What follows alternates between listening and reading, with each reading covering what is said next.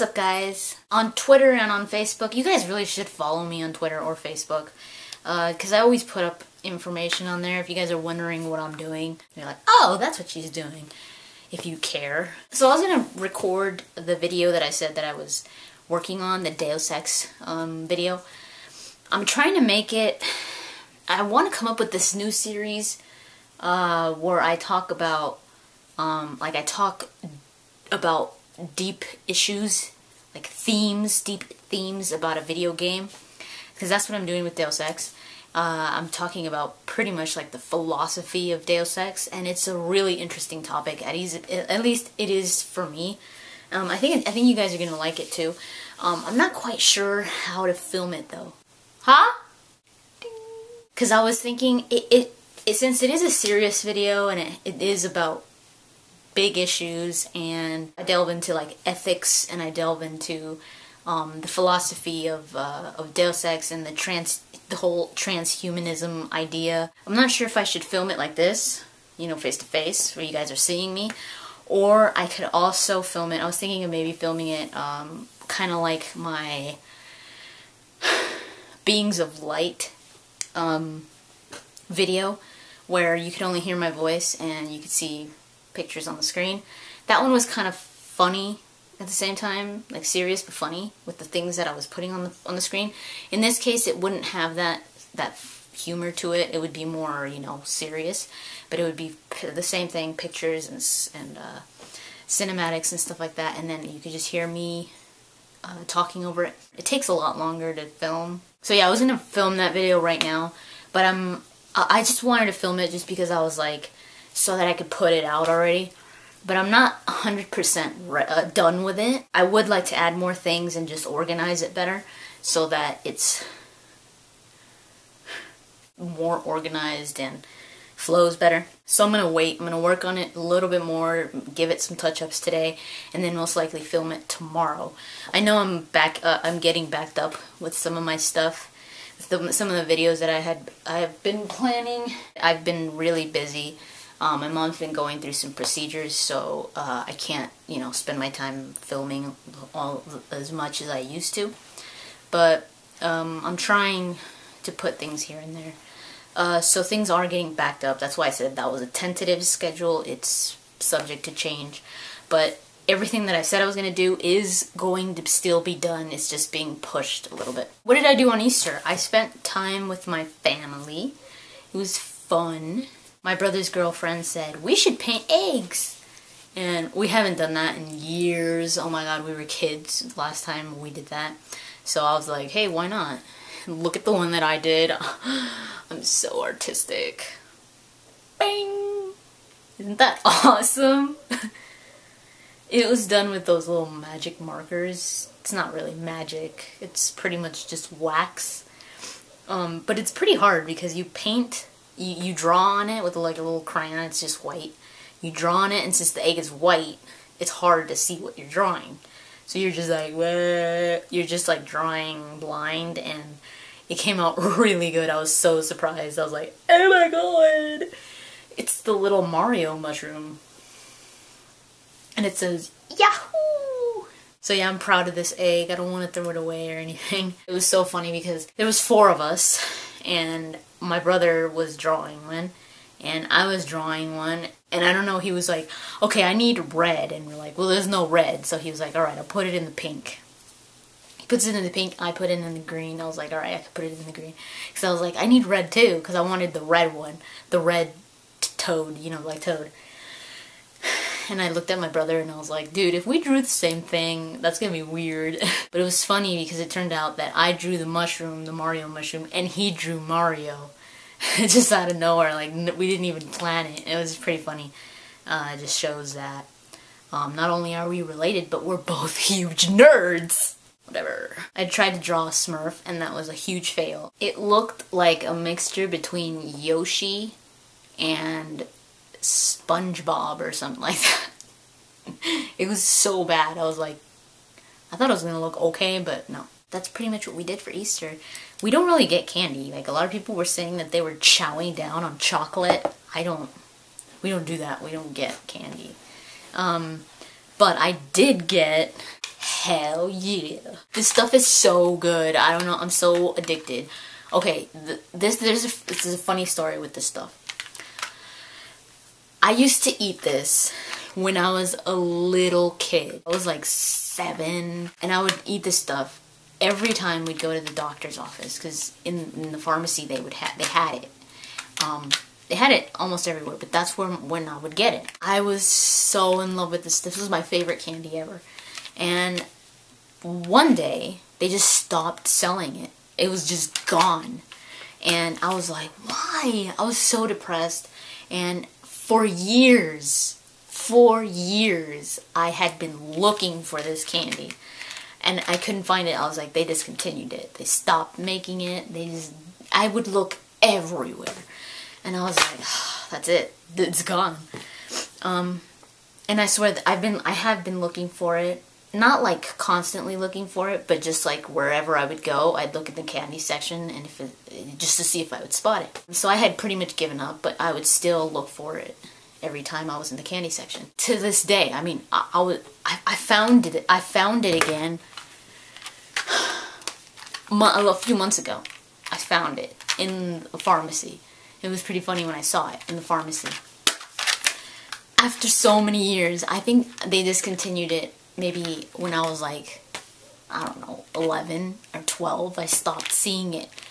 And um, since then to now, all those years, I'm 28 years old, since then till now, I, I, I, finally found it. I saw it a few months ago. I saw it in the pharmacy like that. And I was like, it was so weird. The, the, the, the, the sensation that I felt, like what I, when I saw it, I was like, it was so crazy. I had even forgotten what it was called. I just remembered the package. Like I knew exactly how the package looked, but I didn't remember the name of the candy. It was like a shock moment, you know, where you're just like, like your brain is like, oh my god, you are not just seeing that right now. Like, oh my god.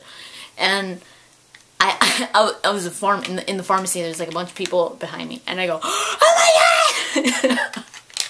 Everybody turns around like, "Oh my god, what's going on?" And I grab like ten of them, just like ten bags. I grab them all. Ah! and I go to buy them. My mom, my mom was kept on telling me that I was freaking crazy. She's like, "Stop it, shut up." I was like, "Oh my god, mom! Oh my god!" And um when I went to buy them, the lady was like, I had this, like 10 of them, and I was like, and she's like, are these good? And I was like, oh my god. I was like, are you kidding me? I was like, I've been looking for these for like 15 years. They're that good? I was like, yeah. So I bought them. I go home. The first one I ate, oh my god. It was heaven. I, I wanted to cry. Like, I wanted to cry. It was those moments where your childhood just like comes back to you and you feel like this huge nostalgia and you're just like my god like it was so overwhelming it was so overwhelming because it was just like years of looking for this damn candy and I finally found it. That pharmacy that I found it in was the only one that I, that sell that sells it. I never, I haven't seen it in any other pharmacy. But my brother's girlfriend told me that she they sell it at her store where she works, and I was like, oh my god! And they sell the 15 pack, so I was like. So I have to buy like three of those or something because I, I still have that fear inside me that they're going to stop selling them. These are really rare out here, at least in California. They're rare. Um, because they used to sell them a lot back then, but now they're really rare. Uh, so I, I bought them yesterday. I bought like three packs yesterday, and I finished one already. They're so good. If you guys don't know what it is, it's pretty much a shell. It's a little shell. It's made out of caramel, and it's got milk chocolate, and there's a hazelnut in the middle. And I think the top, this top, is dark chocolate, maybe? I think it is. It's like a little of dark chocolate. It's so good. You gotta put it in your mouth and then just let it melt the whole thing just melt until it's down to the caramel and the hazelnut in the middle and then you chew it and it's just like so I just wanted to talk for a little bit and just let you know what I'm doing in the meantime um, working on some videos and I'm also reading The Witcher the Last Wish the the first book, the one that's filled with a bunch of short stories. Oh my god, that book is so good. If you guys haven't read it, you should. It's so freaking good. Um, I love, I love the writing. And the crazy thing is, the awesome thing is that the book came before the games. Um, and I don't think that's ever happened when it comes to video games. Usually it's a video game and then they make books. But this was a book and it did so good that they did a video game.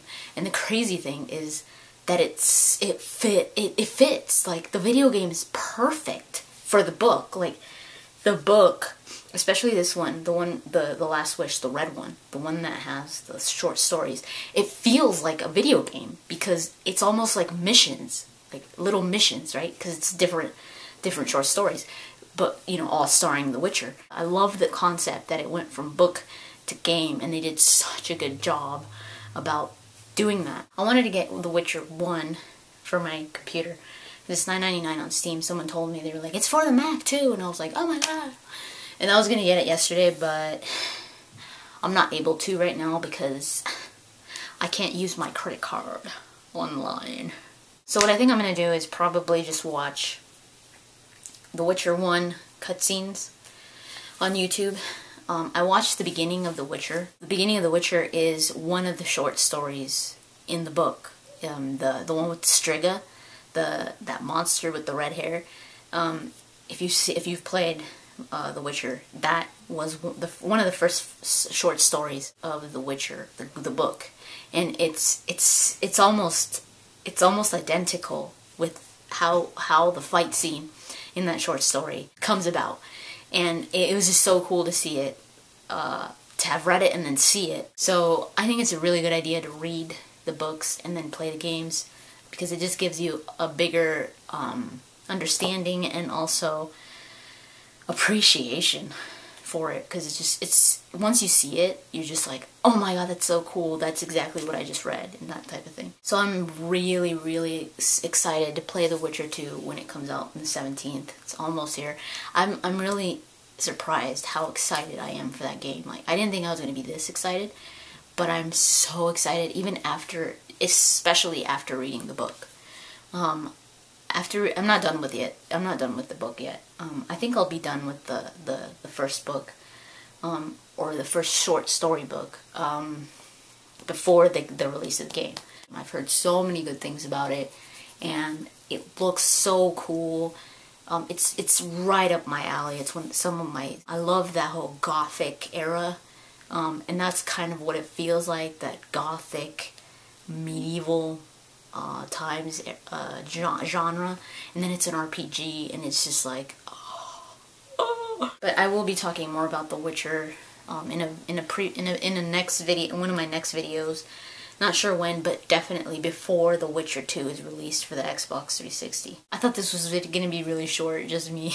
I never have short videos, you guys should know that already. I just wanted to give you guys a little update and but then I got into talking about Easter and my awesome egg and this awesome candy and The Witcher and all that stuff. The thing that I was talking in the beginning uh, about the Deus Ex video, I want to do that for different games too, like delve into the themes of different games, like Bioshock, delve into the themes of oh Half Life is another one.